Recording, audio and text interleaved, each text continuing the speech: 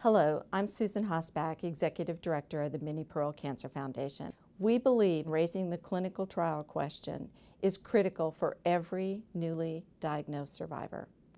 Clinical trials should be available to everyone, and everyone deserves guidance.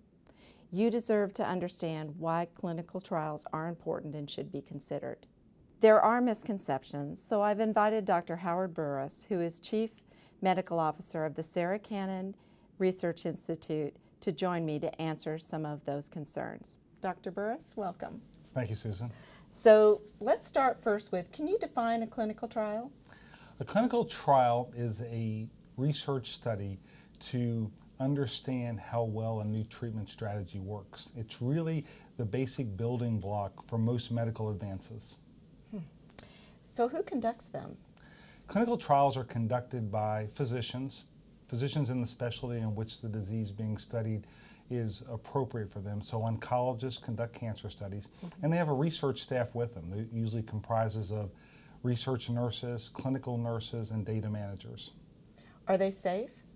Clinical trials are actually very safe. The oversight of clinical trials in this country and really around the world has reached a new level of uh, concern of looking at the the conduct of the trial, looking at the consent process. We have both local authorities and federal authorities involved in the oversight. Patients are very carefully consented for these. There's a number of safeguards. That's some of the steps that take place in the trials to make sure that you're an appropriate candidate and that you've got the organ function, that your kidneys and your liver and your lungs and heart are safe to participate. So, really, from looking at the patient, looking at the information both gathered and to be developed, it's really quite an interesting process. Well, that leads me to the question why is this the best management of any cancer patient? So, it really takes a, a little bit of the guess out of uh, managing a cancer patient when you look at participating in a clinical trial. Mm -hmm. Forces the physician and the patient to really sit down and go through what are the options. Makes you really think about what is the best standard of care. Mm -hmm. And then also, what's the best new therapy that might be out there.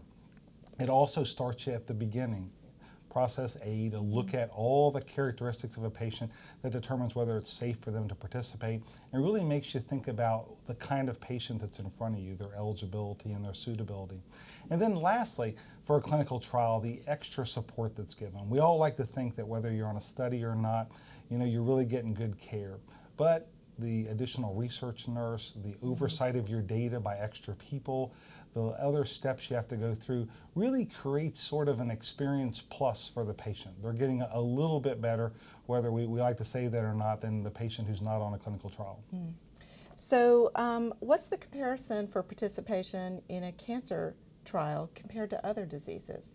So, it's interesting that participation in cancer clinical trials usually averages around 3% of all the patients that are diagnosed. You hear numbers as high as 5%, percent mm -hmm. and that certainly would be the top number.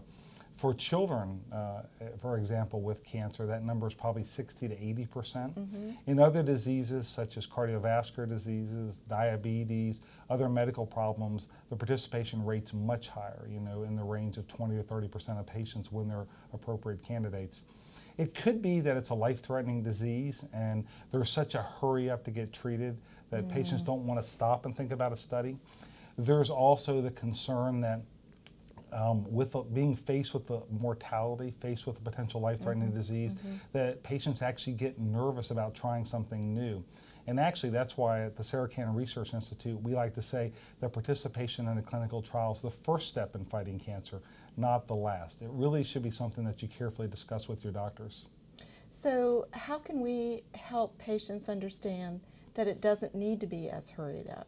That it, they can take the time to get the second opinions. It, and I think that's a, a great point to bring up with a patient to think about the fact that it's better to take a few days and, and make the right decision mm -hmm. than to do something that day.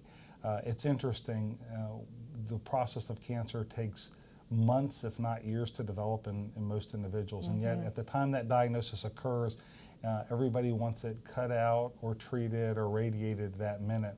And I think it really is important for physicians and nurses to take the time with their patients to say, let's look at all the aspects of your particular cancer and see what's the best therapy for you. That's going to become more important over the next few years as we move further into the direction of personalized medicine. Cancer becoming 200 different diseases mm-hmm. as we determine that there are very specific mutations that patients have. So no two breast cancer patients already look alike, mm-hmm. but it turns out that within those individual diseases, there's going to be very specific therapies for each patient. Right drug for the right patient at the right time. Mm-hmm. Could you provide a couple of examples of some key trials that are now today's standard of care? It's interesting that, that you mentioned that. I was fortunate during my fellowship to be around when we started hearing about a mutation called CERB2 that became known as HER2. Mm-hmm. And we were searching for this, and, and back then it was frustrating because 15% of breast cancer patients had that mutation, mm-hmm. and there weren't good tests to find out who that 15% were. And doctors like to be lumpers versus splitters. Let's try to treat everybody the same and, mm-hmm. and not segment off the groups. And during the process of identifying who those patients were, mm-hmm. We were able to develop a new therapy known as Herceptin, which now has moved from salvaging patients with metastatic or incurable disease to actually curing about 85% of those patients mm-hmm. when it's given right after surgery. It's actually a fairly safe therapy, and it's been interesting to see that group of women who probably had one of the worst prognoses mm-hmm. of any breast cancer patient now be the group that actually does better than most. Mm, amazing. What should I ask my doctor? Can you give me some examples of things? I think it's important when speaking to your oncologist or speaking to who, who's ever made the diagnosis of your cancer, be it a surgeon, gastroenterologist, pulmonologist, to really ask about the options. I always encourage patients to get a second opinion. I think it's always best to ask about what's out there and what's available. Uh, what's current in oncology is whatever's happening that day, that week. I mean, it has changed so much in the last two or three years, the number of new therapies and the number of new approaches that have taken place. So it's really important, really hard to keep up to date.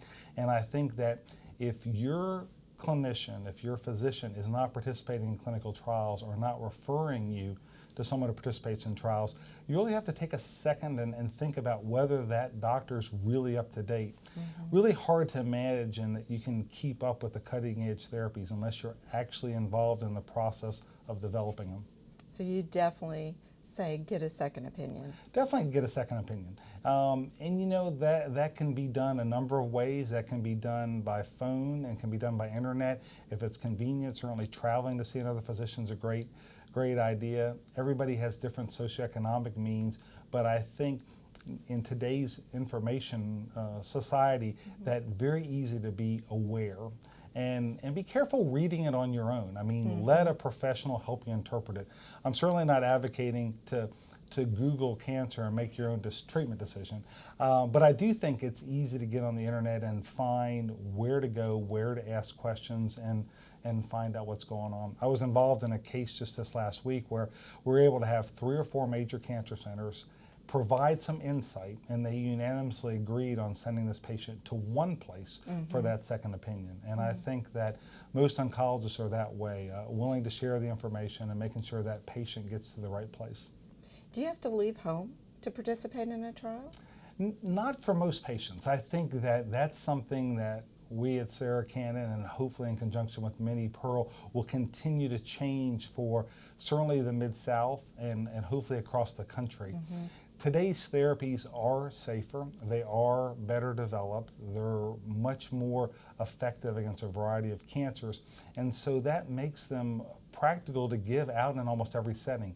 Cancer is an outpatient business. Uh, very few mm-hmm. patients need to get their therapy inside a hospital after their initial surgery.